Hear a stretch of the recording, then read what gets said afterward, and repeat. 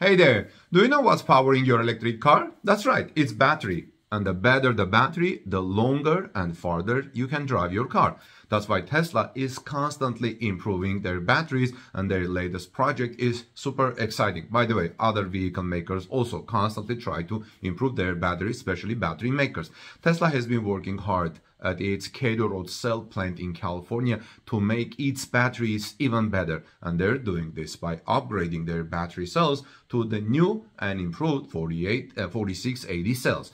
These new cells are bigger and more powerful than the old ones, which means they can hold more energy and last longer. And the best part, Tesla is going to make them in-house at its Kato Road cell plant. Actually, they've been doing this for a long time, but now they have been improving and upgrading the Kato Road facility. But that's not all. Tesla is also making improvements to the plant itself so they can make these new cells more efficiently and quickly. They've added new machines and equipment, and they are even using artificial intelligence to help the company make these battery cells for Tesla vehicles.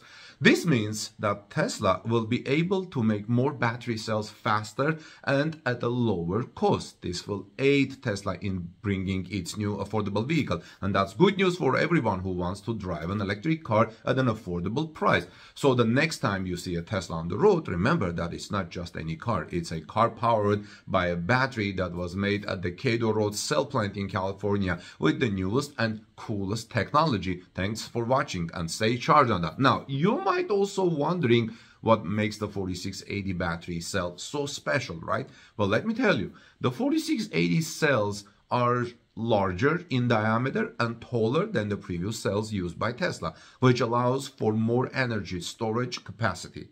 This means that the same amount of energy can be stored in fewer battery cells, making the battery more compact and lightweight. The 4680 cells are also more durable and have a longer lifespan, which reduces the need for frequent battery replacements if you are a Tesla or electric vehicle owner. But wait, that there is more to this. The 4680 battery cells are designed to be produced in a more environmentally friendly way, which aligns with Tesla's mission to create a sustainable future. The new production processes use less energy and reduce waste, which lowers the overall carbon footprint of the batteries. This is very important because while we think of electric vehicles as zero emissions, battery production is not zero emission.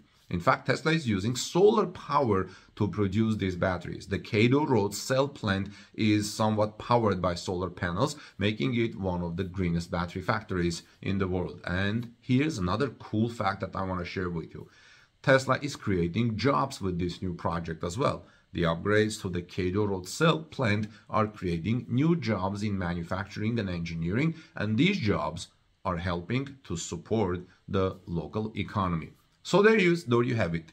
Tesla improvement, Tesla's actually improvements to the Kato Road cell plant are not just making better batteries, but they're also creating a more sustainable future, providing new job opportunities and supporting the local community. It's a win-win situation for everyone. I'm glad to hear that Tesla is improving and upgrading the Kato Road facility, which is just a few roads over on the other side of the Fremont factory. So the next time you're cruising around in your Tesla, remember the hard work that went into creating this amazing battery. Thanks for watching and drive safety. This is Armen Hareyan from torquenews.com. Please subscribe to our channel and give us thumbs up if you found this report helpful and useful. And God bless you. Have a great day. See you soon in our next report.